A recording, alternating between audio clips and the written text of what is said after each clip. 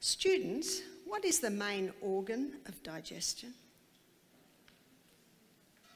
Pancreas. Can you see that? It's the pancreas. The only food that's broken down in the stomach is protein. Most of our digestion is happening here. And that is why when someone has pancreatic cancer, they usually die from malnutrition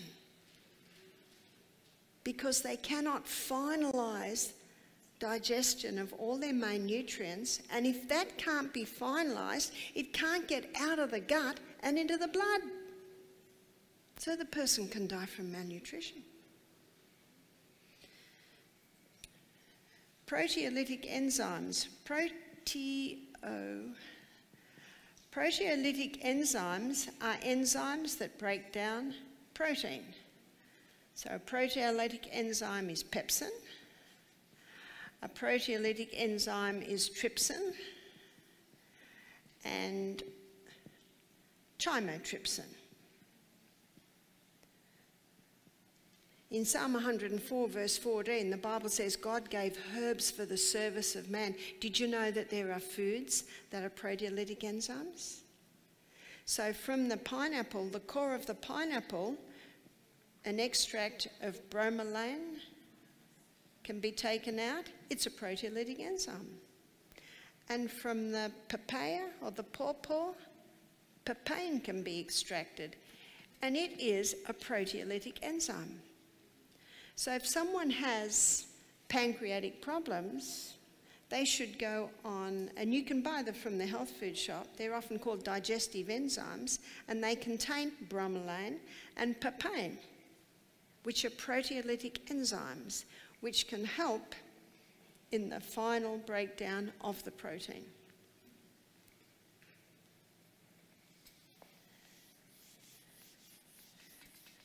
Before we move on further, what if someone has low hydrochloric acid? How can they boost it? They can boost it by eating breakfast like a king, lunch like a queen, tea like a pauper, by not drinking water with their meals. But if they have the juice of a lemon in a little bit of hot water just before the meal, that can get the acid up. And a quarter of a teaspoon of cayenne pepper in a little bit of water just before the meal, that'll wake anything up.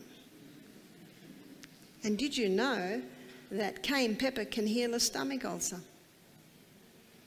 Black pepper can't, chili pepper can't, only cayenne pepper can. Because cayenne comes from the capsicum family, chili from the chili family. Do you remember what I said? Anything that goes into your gastrointestinal tract is not part of you or me until it gets broken down and taken into the blood. Pancreatic enzymes are particularly important for protein digestion. They break down complex proteins into simpler peptides and amino acids, which can then be absorbed into the bloodstream. This enzymatic action is vital for nutrient absorption and overall metabolic health. Without sufficient enzyme production, individuals may experience protein malabsorption, leading to numerous health problems. Lining the small intestine are villi, and the villi basically look like this. And up the middle of the villi is a lacteal. That's part of your lymphatic system. And then all through the villi is your blood capillary network. Now, covering that villi, and we looked at this on Tuesday night, is a thick turf wall and it's made up of Lactobacillus acidophilus bifidus bacterium. Makes a thick turf wall. And that thick turf wall plays a very important role in the final act of digestion. Did you know that when a baby's in utero, there's no, there's no gut flora? Their gut is what's called sterile. And when the baby's born, it's literally showered with the mother's microorganisms. And colostrum, that thick, creamy substance that's in the milk in the first few days, it's rich in the gut flora. So, what happens when a baby's born and when it has that colostrum? Did you know that a farmer If the mother dies in cowbirth, in cowbirth, is that what you call it? If the cow dies in childbirth, what the farmer does, and a farmer told me this, they squeeze that udder and get it into that little calf's mouth. It is so important that that baby calf get that colostrum. In fact, he said, if we can't do that, we may as well kill the calf. It will never, ever be strong. Let's take that to human standards. How important is that? You see, the role that it now plays, this gut flora, it's responsible for the final breakdown of our food.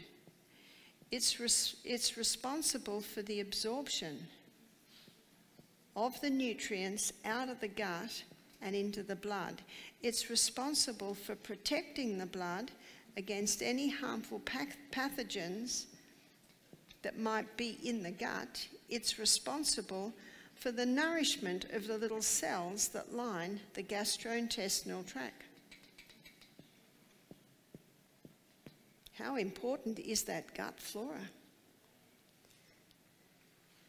So, what would break it down? Antibiotics break it down.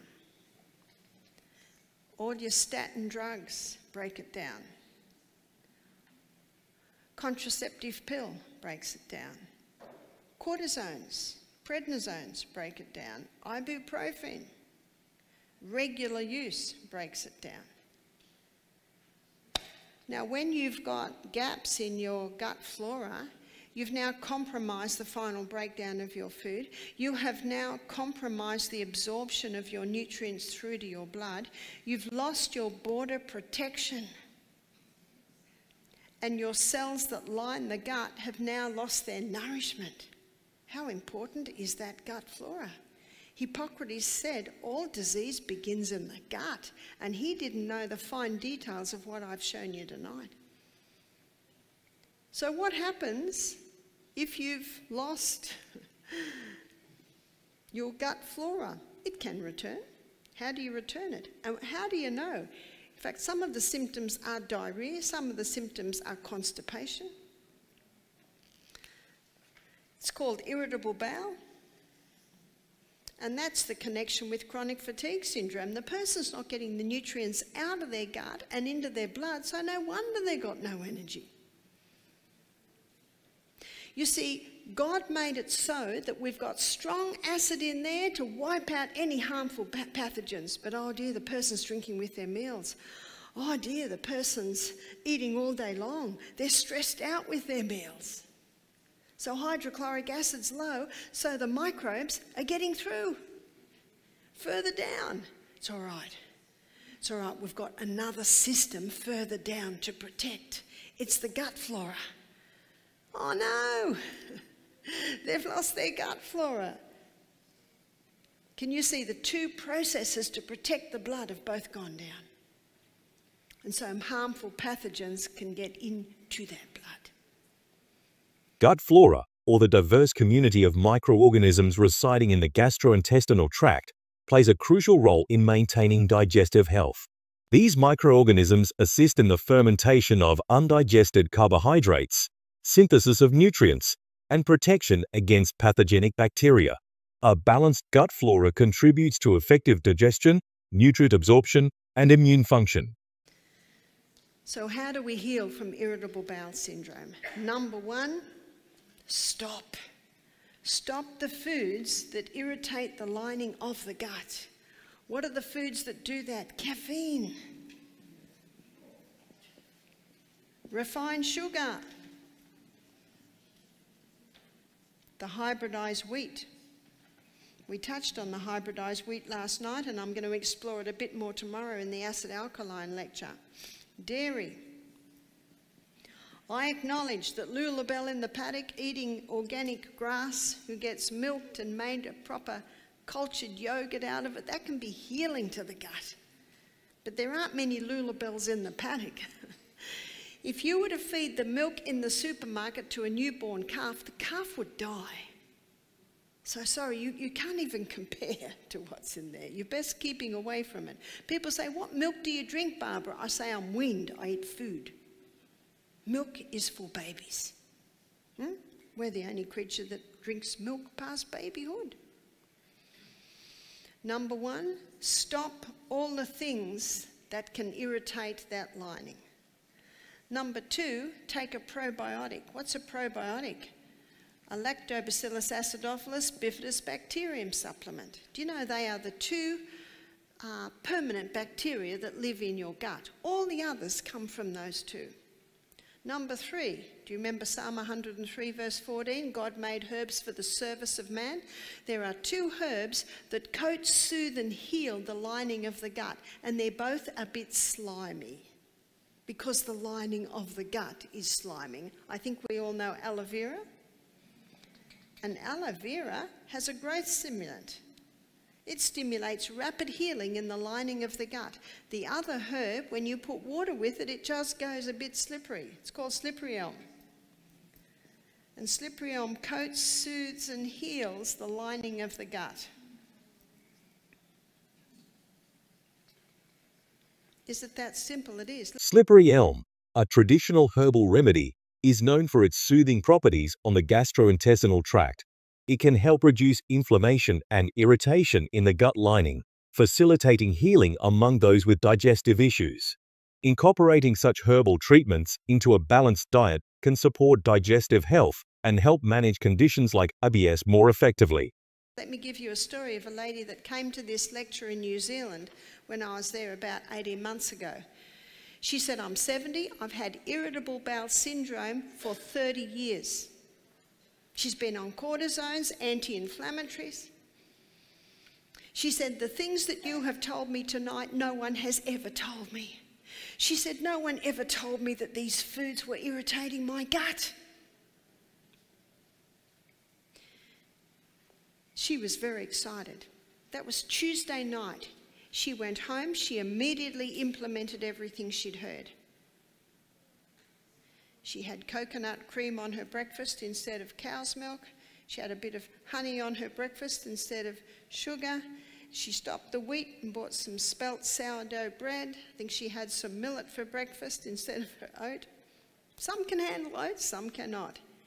She started to have a dandelion instead of a coffee. She immediately implemented. She's 70, 30 years she's been struggling with this.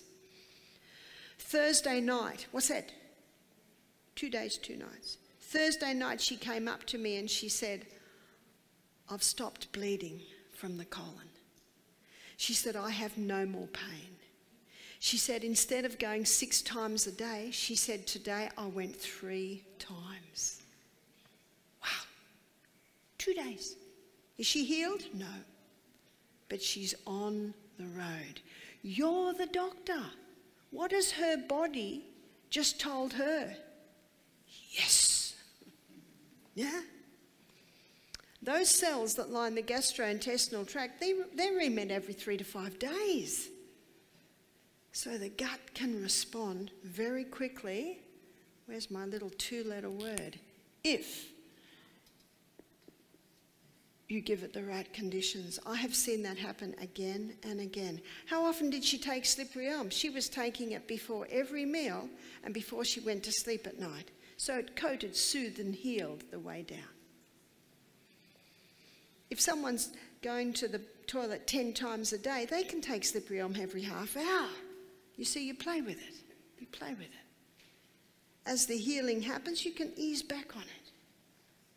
For individuals suffering from irritable bowel syndrome, IBS, managing gut flora is particularly critical. Healing from IBS can involve eliminating irritants from the diet, such as gluten or high FODMAP foods, and nurturing beneficial gut flora through a diet rich in prebiotics and probiotics.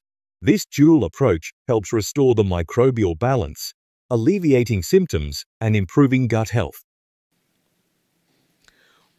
Most of your food is absorbed by the halfway down your small intestine. And then we come down to the ileocecal valve, and that ileocecal valve here stops anything going back that way. Everything coming out of your small intestine into your large intestine is a little liquid. So, one of the main functions of the large intestine is to take water out so stools are formed so you can pass with ease.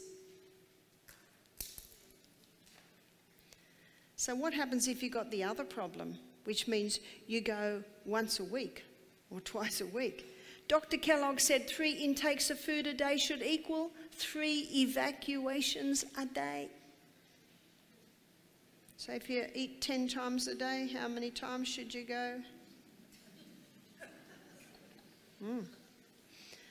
So, what can we do to make sure we are going regularly? Drink adequate water. If you're dehydrated, more water gets taken than, out than should be taken out. Eat plant foods. Plant foods sweep the colon. And by the way, is the appendix a mistake? Does God make mistakes? No. well, what's the role of the appendix? It has two main roles. It's called the colon's oil can. It lubricates the contents to get it through easily and it also releases antibacterial fluid so that if what's coming out of here is toxic, how would it be toxic? If a person's eating a high meat diet which putrefies and a lot of sugar and alcohol, what's coming out of here is pretty nasty. And so the appendix has to quickly release that antibacterial fluid to sort of calm it down so that it can get it out of your body without poisoning you. Whew. So make sure you eat a lot of plant foods to get that sweeping action through. Right down near the end, you see there's a little loop.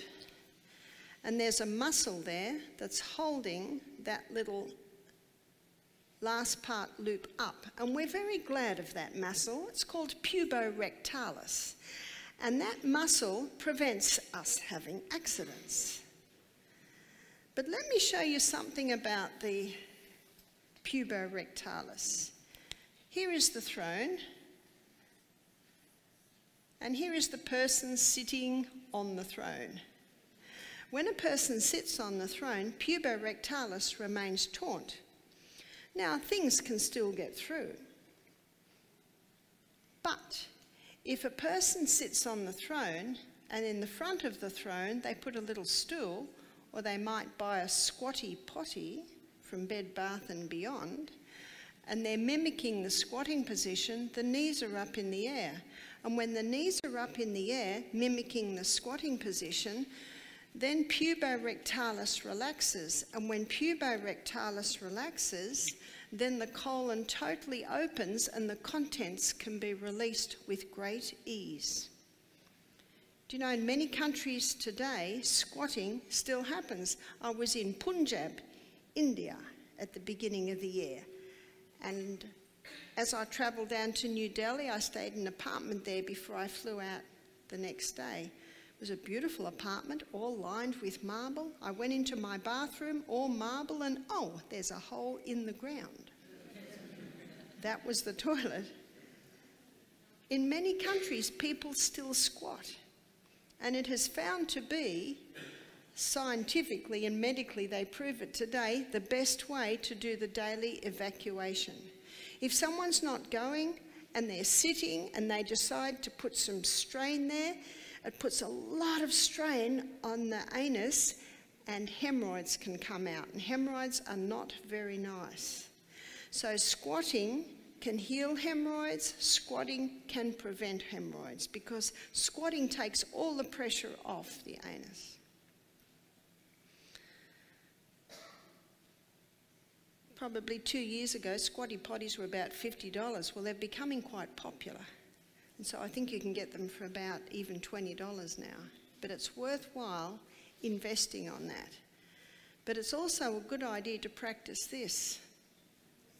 Got that? Every day we should squat. And in many countries, that's a very natural position. It became a very natural position for me when I, I read a book called Active Birth by Janet Balaskas. And I practiced squatting all through my pregnancy. And when my baby was born, the whole baby flew out of me with one push, with the bag intact there to catch the baby. Wow, squatting does wonderful things.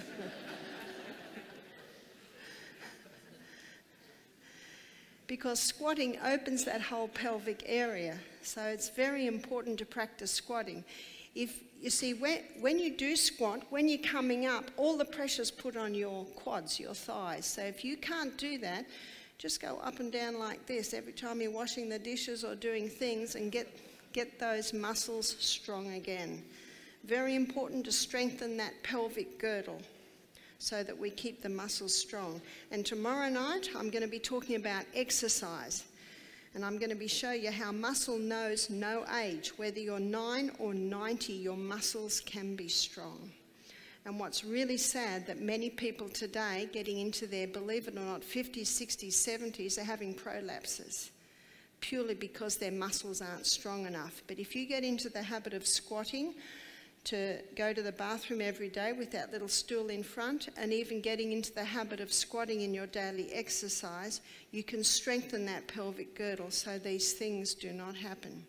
So, thank you for your attention as we went on the wonderful journey through our gastrointestinal tract to see what happens to the food we eat.